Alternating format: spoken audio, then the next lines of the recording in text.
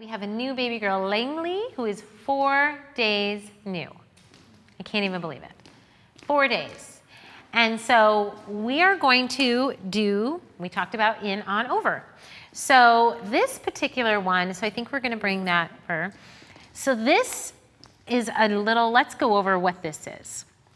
This is by Handmade by Lulu. I don't know why we have that in here. Handmade by Lulu sent this gorgeous nest to me and all kinds of filler that I love.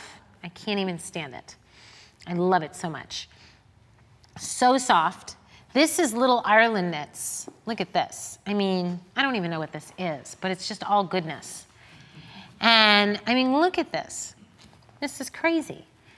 I mean, honestly, I like I want that to be my next job. However they do this, I want to do it.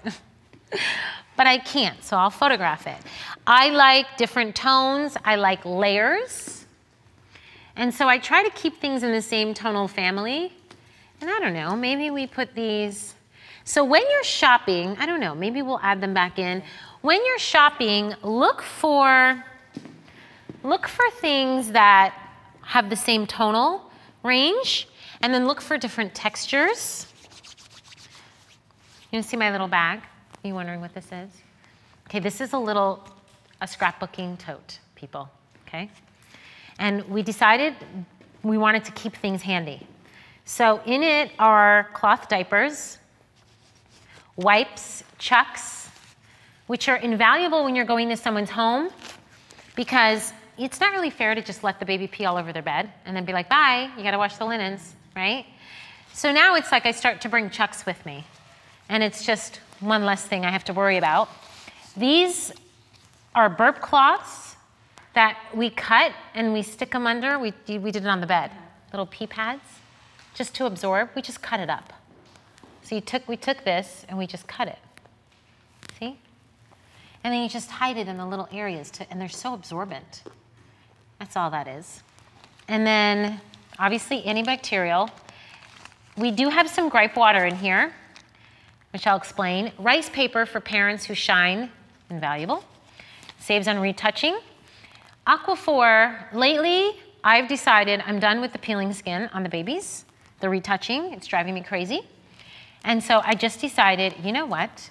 We're just gonna start carrying Aquaphor with us because we used it the other day and it's the best thing for babies. I mean, pediatricians recommend it. It's just pure, it's natural. They use it in the hospitals. And so we just said the baby was peeling up a storm and I just was like, oh my God, it's a retouching. So we just said, you know what, in the middle of the session, mom, dad, let's just rub it on the dry skin. And then the parents were like, I'm so sorry, we were trying, you know, we tried to peel it off. I'm like, no, no, no, no, no, it's a, it's a new baby. But let's just rub it a little bit. And then they were worried it was too shiny. You can't even see the shine. You just rub it in gone. And it will save you hours of retouching.